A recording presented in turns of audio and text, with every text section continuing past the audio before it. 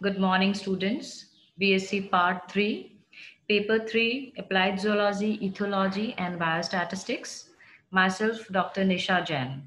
आज हम vermiculture applied zoology का नेक्स्ट चैप्टर वर्मिकल्चर या फिर केचुओं का संवर्धन पढ़ेंगे इस चैप्टर के अंदर हम केंचुए का किस प्रकार से संवर्धन किया जाता है इसके बारे में पढ़ेंगे तो सबसे पहले हमें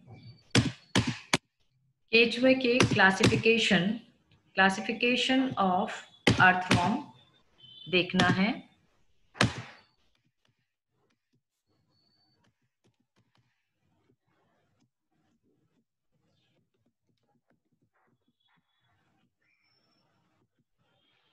Classification of earthworm.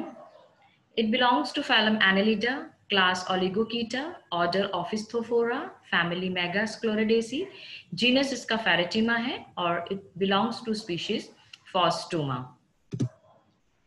Earthworm कैसा दिखता है? ये सब हमने देखा हुआ है हमारे गार्डन के अंदर खेतों के अंदर। इस प्रकार से केचुए का स्ट्रक्चर देखने को मिलता है। अगर हम बात करें टाइप्स ऑफ़ अर्थवर्म केचुए कितने प्रकार के होते हैं?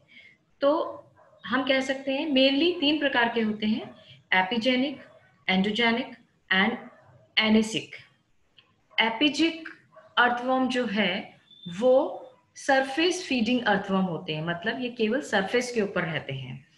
एंडोजेनिक सॉइल फीडिंग होते हैं, ये सरफेस से नीचे मिट्टी में रहते हैं और एनेसिक जो है, वो बहुत गहरी, तीन मीटर से भी नीचे मिट्टी के अंदर ये रहते हैं। और जो ये अर्थवर्म होता है एपिजेनिक ये डार्क कलर का होता है एंडोजेनिक है, ये थोड़ा हल्के रंग का होता है और एनेसिक जो है ये डीप होता है और ये बरोस के अंदर हमेशा रहता है। Three metre below the soil surface ये रहता है। अगर हम इसकी निच ग्रुपिंग करें तो आप ये अर्थवर्म को देखिए। This picture shows that epigeic earthworm surface के ऊपर है। ये अर्थवर्म जो मेन ऊपर, जो पत्तियाँ होती हैं, जो ऊपर हम खाद डालते हैं, जो दूसरी जो इसके ऊपर लीफ लिटर्स वगैरह प्रेजेंट होते हैं, उनको ये खाता है और ये एग्ज़ाम्पल है इसका एल रुबेलस जबकि एंडोजेनिक जो है, वो सॉइल को खाता है और इसका एग्ज़ाम्पल है ए कैलिजिनोसा एनिसिक का जो एग्ज़ाम्पल है, वो है ए लोंगा और ये deep more than three metre deep earth के अंदर ये पाया जाता है। Vermiculture vermicomposting and worm casting ये क्या चीज़ है? वर्मी कल्चर एक्चुअली क्या होता है? इसका मतलब होता है प्रोडक्शन ऑफ़ अर्थवॉर्म केचुओं का संवर्धन। वर्मी कंपोस्टिंग का मतलब होता है केचुए से हमें कंपोस्ट बनाना, खाद बनाना। जो कि इसका एक्सक्रीटा होता है। और वॉर्म कास्टिंग वर्मी कल्चर जब हम करते हैं तो हमें वर्मी कंपोस्ट प्राप्त होता है, जो इस प्रकार का दिखता है। This is what exactly we want इसका ये फ़ायदा होता है। अगर हम लाइफ साइकिल की बात करें केचुए की तो ये एक बहुत ही सुंदर डायग्राम है। आप इसके अंदर देखिए, एक यंग केंचुआ है, इसकी मेटिंग हो रही है दो केंचुए। केंचुए जो है अर्थवॉर्म जो है वो हमेशा हार्मोफ्रोडाइट होते हैं। मेल और फीमेल सेक्स इसके एक ही एनिमल के अंदर होते हैं। जब इसकी मेटिंग होती है तो इसके अंदर से कोकून्स या एग निकलते हैं और एग जब डेवलप होता है तो इसके अंदर से ये यंग अर्थवॉर्म निकलता है। तो इस प्रकार से इसकी लाइफ साइकिल कंप्लीट होती है। कुछ फैसिनेटिक फैक्ट्स हैं अर्थवॉर्म के, जैसे कि एक तो ये एपिजिक है it it feeds on the leaf litter on the surface surface के ऊपर जो पड़ा हुआ है, उसके ऊपर ये फ़ीड करते हैं। Male and female sexes are present in the same animal therefore they are hermaphrodite. They do not have lungs to breathe ये स्किन के द्वारा ही श्वसन क्रिया करते हैं। बहुत सी स्पीशीज होती हैं अर्थवर्म की, जो कि अलग अलग जगह पाई जाती है। यूरोप के अंदर अफ्रीका के अंदर, इंडिया के अंदर, अगर मैं देखूँ तो एसोफटीडा, एंड्री, लुम्ब्रिकस, हॉटनेसेस, ये जो अलग अलग स्पीशीज हैं, ये यूरोप में, अफ्रीका के अंदर और इंडिया के अंदर पाई जाती हैं। उनमें से कुछ ही स्पीशीज हैं जो कि एपिजिक स्पीशीज हैं, जो सरफेस ड्वेलर होती हैं। उनको हम ज़्यादातर वर्मी कंपोस्ट या केंचुए के संवर्धन में काम में लेते हैं। ये जो वर्मी कल्चर है, ये there are many factors which influence the culturing of earthworm केंचुए के संवर्धन को कंट्रोल करने के लिए बहुत सारे फैक्टर्स होते हैं। Food moisture temperature light pH and protection from predators अगर मैं एक एक करके इसको डिस्कस करूँ कि वो कौन से फैक्टर्स हैं जो वर्मी कल्चर को इफ़ेक्ट करते हैं। फ़ूड फ़ूड की जो क्वांटिटी है वो हमेशा हाई होनी चाहिए और इसके अंदर कार्बन और नाइट्रोजन का जो रेशियो है वो बहुत ज़्यादा होना चाहिए।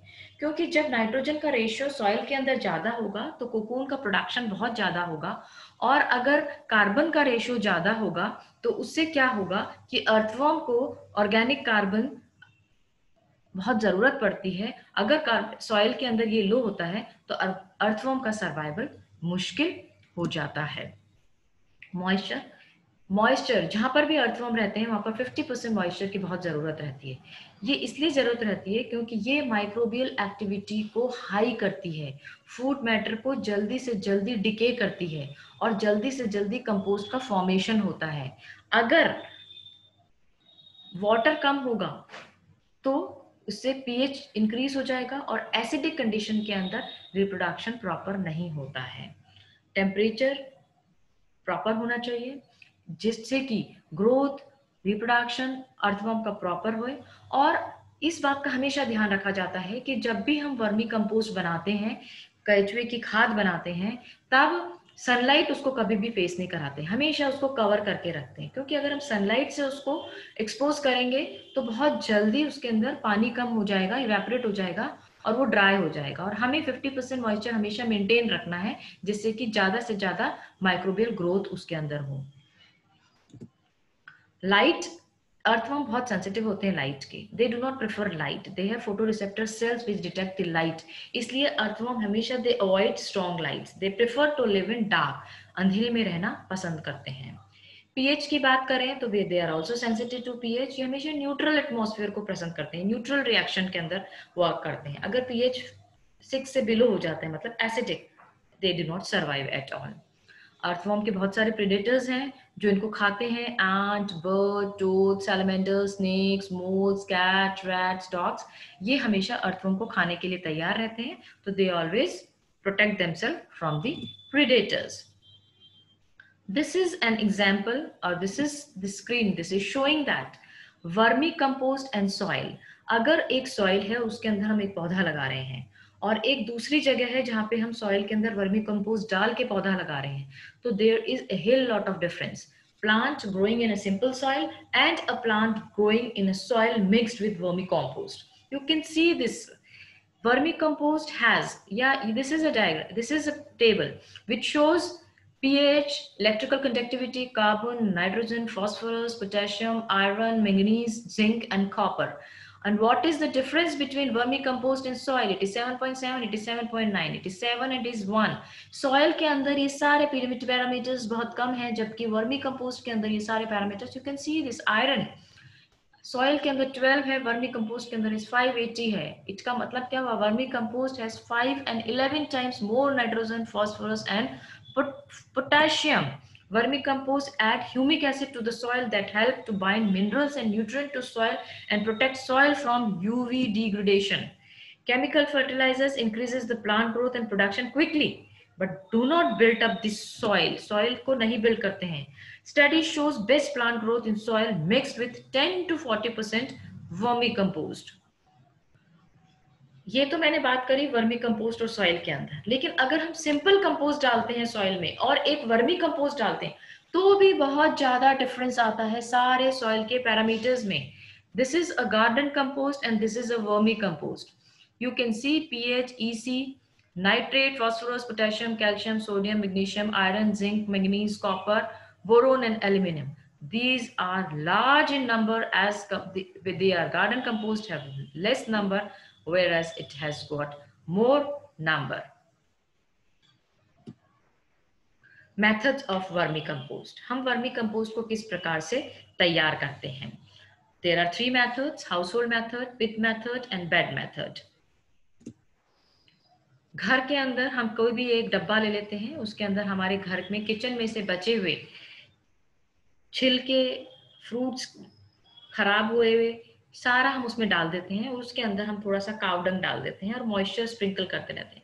थोड़े दिन बाद हम देखते हैं कि ये जो है, ये जो फ़ूड मटेरियल है, ये माइक्रोबल एक्टिविटी से डिकम्पोज होके और एक खाद के रूप में हमें प्रदान इसके अंदर हम केंचुए भी डालते हैं। ये केंचुए इसको डिकम्पोज कर देते हैं और हम थोड़े दिनों बाद हमें यहाँ पर खाद पदार्थ प्राप्त हो जाते हैं। पिट मेथड एक खड्डा करते हैं, उसके अंदर हम एक लीव्स के लिटर्स रूट्स ये सब डाल देते हैं कावडंग डाल देते हैं और उसके ऊपर हम केंचुए डाल देते हैं और 40 से 45 डेज़ के अंदर डिकम्पोज होकर हमें यहाँ पर भी वर्गी कंपोस्ट प्राप्त हो जाता है।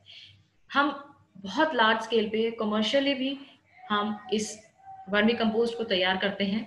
ये देखिए वर्मी कंपोस्ट यूनिट है, ये एसडीपीई यूनिट है। ये बड़ी बड़ी बेड्स बना रखी हैं, ये बेड ये बेड्स बना रखी हैं जिसके अंदर की केंचुए का खाद तैयार हो रहा है।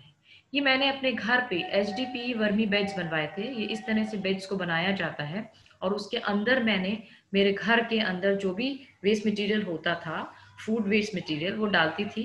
मैंने कावडंग डाल के रखा, उसमें कुछ केंचुए छोड़ दिए। तो थोड़े दिनों बाद ये देखिए मुझे इस प्रकार से वर्मी कंपोस्ट प्राप्त हुई। वर्मी कंपोस्ट बनाने के लिए जैसा कि मैं बता चुकी हूँ डिकम्पोज ऑर्गेनिक वेस्ट यूज़ करते हैं। Animal excreta kitchen waste farm residue forest litter and commonly use as a compost material And animal dung, mostly cow dung, is dried chopped crop residues are the raw material for vermicompost. Vermicompost में पहले ही बता चुकी हूँ bed method और पिट method से बनाया जाता है। इसको बनाने का मेथड जैसे कि मैंने आपको बताया है कि किसी भी डब्बे के अंदर, पिट के अंदर या बेड के अंदर हम रेजिड्यू डाल देते हैं, उसके बाद कावडंग डाल देते हैं और उसके बाद हम सॉइल डाल देते हैं, उसके बाद हम उसको केंचुए डाल देते हैं और उसको हम हिलाते रहते हैं।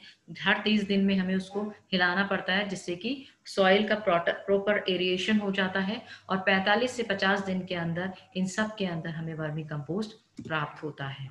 ये आप देखिए, ये हमने जो काव डंग के अंदर बचा हुआ मटेरियल को डिकम्पोज करके रखा हुआ है, इसके अंदर ये लेडी इसके अंदर केंचुए को ऐड कर रही है और पानी का स्प्रिंकल किया जाता है जिससे कि 50 परसेंट मॉइस्चर इसके अंदर मेंटेन रहे और जब ये बन जाता है तो छान के हम इसको अलग कर लेते हैं और फिर हम इनको कट्टों में भर लेते हैं जो कि वर्मी कंपोस्ट तैयार हो गया है।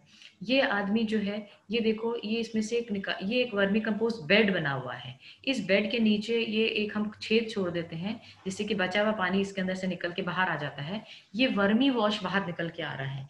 ये वर्मी वॉश भी बहुत न्यूट्रेटिव होता है और ये वर्मी कंपोस्ट के जैसा ही होता है। इसको भी हम प्लांट के ऊपर स्प्रिंकल करते हैं, जो कि वर्मी कंपोस्ट के जैसे ही काम करता है। अगर हम बात करें, बेनिफिट्स ऑफ़ वर्मी कंपोस्ट की।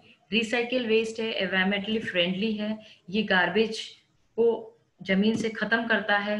ये लो कॉस्ट है और इसके न्यूट्रिशनल लेवल बहुत ज़्यादा है। बहुत टाइम के अंदर हम इसको बना लेते हैं। पूरे साल हम इसको तैयार कर सकते हैं।